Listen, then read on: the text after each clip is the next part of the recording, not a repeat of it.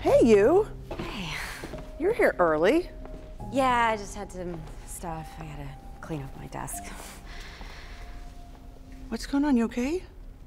Yeah, I, I'm, um...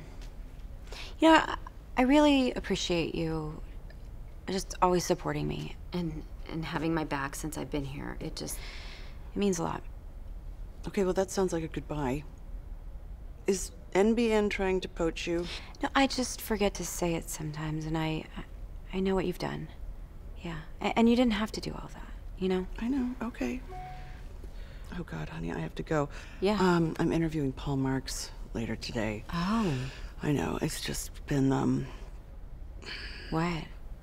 Chip found out some information on him, and I know I'm gonna have to go at him really hard. Really? Yeah. Well, It's just not good. The deal could possibly blow up.